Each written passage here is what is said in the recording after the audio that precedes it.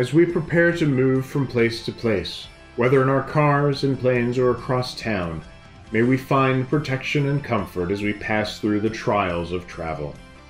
May our security lines be short, our in flight entertainment inexpensive, our flights always on time, and our connections undelayed. May traffic be light and uneventful, with clean hotels or good friends to greet us as we move around.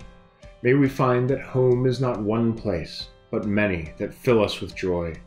May all who arrive do so safely, and make our homes bright and full of care and love.